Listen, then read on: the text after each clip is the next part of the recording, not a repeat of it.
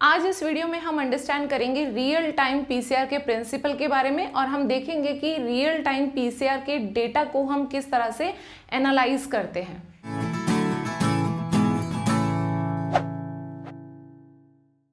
Real time PCR it is a type of PCR technique PCR technique हम DNA को या सी DNA को amplify करने के लिए यूज़ करते हैं।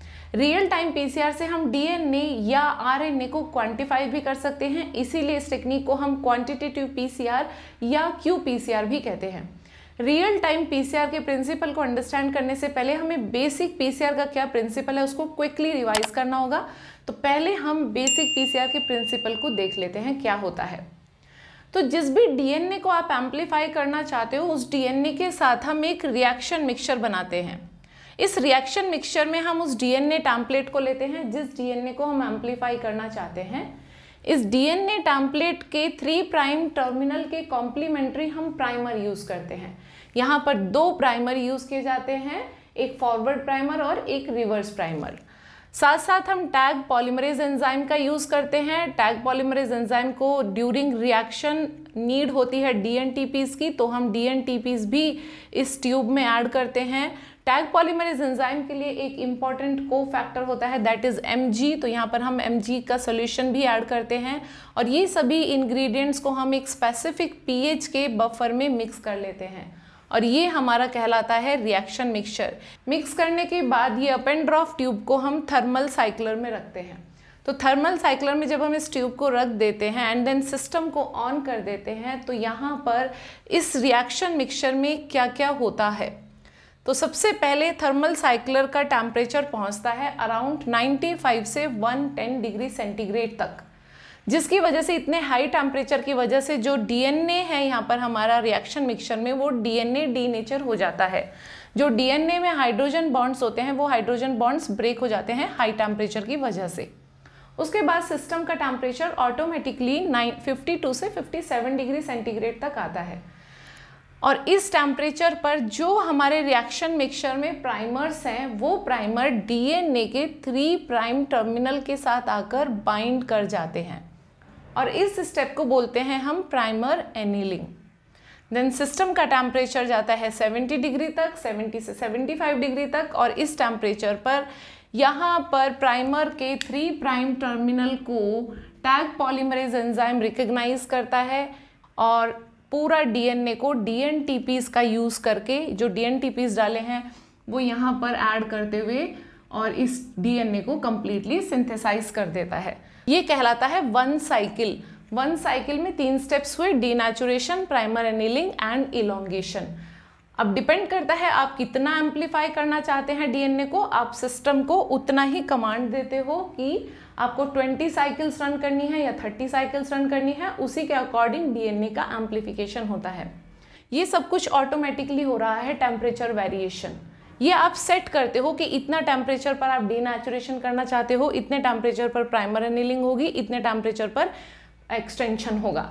तो ये कुछ बेसिक पॉइंट्स हो जाते हैं हमारे यहाँ पर बेसिक पीसीआर के। अब हम अंडरस्टैंड करते हैं कि real time PCR basic PCR से किस तरह से डिफर करती है। तो रियल टाइम पीसीआर को परफॉर्म करने के लिए भी हम रिएक्शन मिक्सर बनाते हैं, लेकिन यहाँ पर रिएक्शन मिक्सर में बाकी सब इंग्रेडिएंट तो सेम होते हैं, लेकिन एक इंग्रेडिएंट अलग होता है, जो कि आप यहाँ पर प्रोब भी यूज़ कर सकते हो, या फिर आप डाई भी यूज़ कर सकते हो। डाई का एग्ज़ाम्पल हो जाता है साइबर ग्रीन डाई जो कि डबल स्टैंडर्ड डीएनए के साथ बाइंड करती है एंड प्रोब का एग्ज़ाम्पल हो जाता है टैगमैन प्रोब या molecular beacon SYBR green dye non specific होती है, यानी कि सम टाइम क्या होता है कि आप सपोज़ इस डीएनए को एम्पलीफाई करना चाहते हो, लेकिन ये डीएनए ना एम्पलीफाई होकर, किसी वजह से आपके प्राइमर यहाँ ना बाइंड होकर कहीं और बाइंड हो गए डीएनए में और वो पार्ट एम्पलीफाई हो गया तो मिलना आपको एक्सपेक्टेड रिज़ल्ट ये था, लेकिन मिला कुछ और ही बैंड तो SYBR green dye non specific है, वो यहाँ पर भी फ्लोरिसेंस देगी, इस केस में भी फ्लोरिसेंस देगी।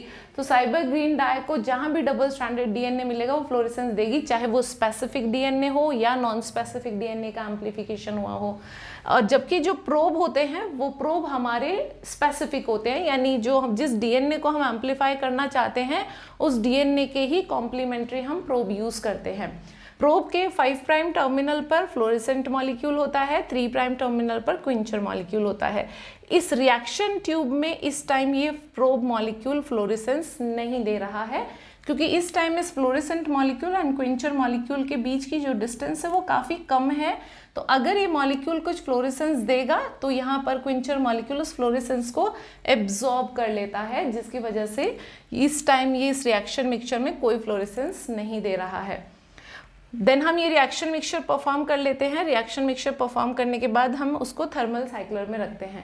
यहाँ पर पीसीआर मशीन थर्मल साइक्लर थोड़ा मॉडिफाई होता है, उसके साथ स्पेक्ट्रोफोटोमीटर अटैच होता है। स्पेक्ट्रोफोटोमीटर से इलेक्ट्रोमैग्नेटिक रेडिएशंस आती हैं और वो इलेक्ट्रोमैग्नेटिक रेडिएशंस हमारे सैंपल पर फॉल होती हैं।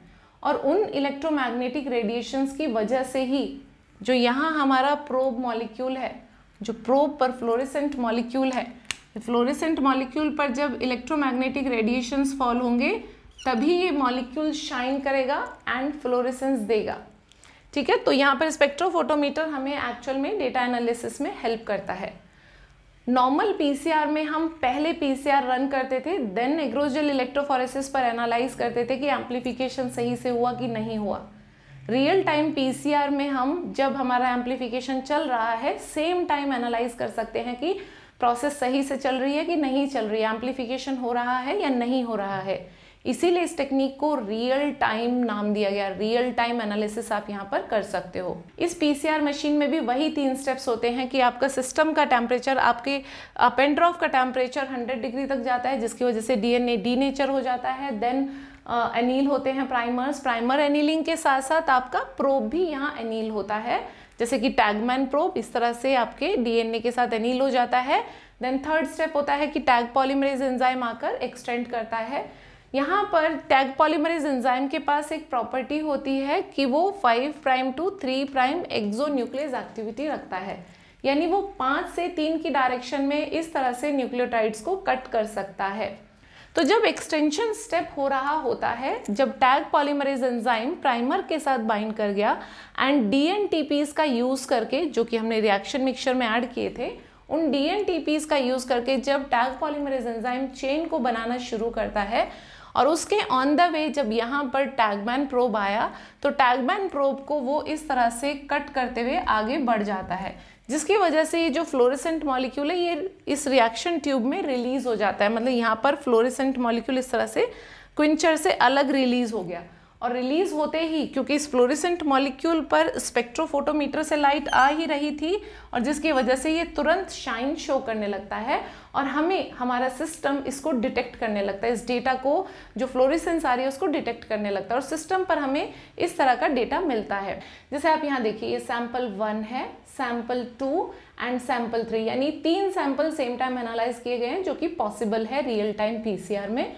यहाँ आपका ये एक्स एक्सेस पर है पीसीआर साइकिल नंबर यानी कितने साइकिल के बाद आपको ये कर्व देखने को मिला। और ये जो कर्व है, ये कहलाता है एम्प्लीफिकेशन कर्व तो आप नोटिस कीजिए कि जो पहला सैंपल है, इसने पहले ही कर्व बना दिया। यानी इसमें जो इनिशियल अमाउंट ऑफ़ डीएनए था, वो काफ़ी ज़्यादा था।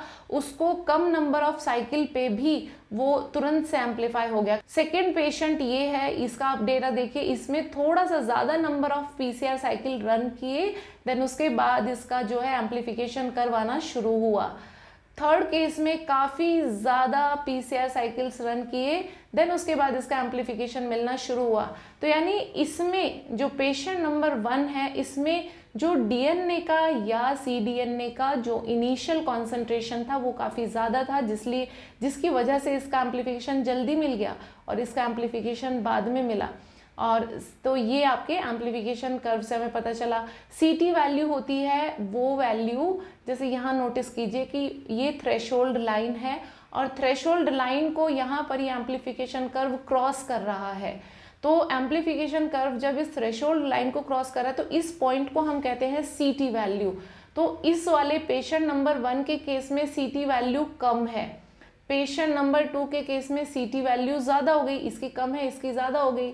थर्ड पेशेंट के केस में सी टी वैल्यू और ज़्यादा हो गई।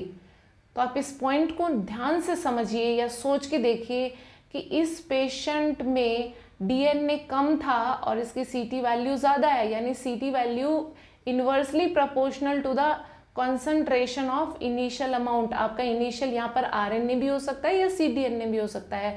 तो कोरोना के केस में यही पीसीआर यूज़ किया जाता था।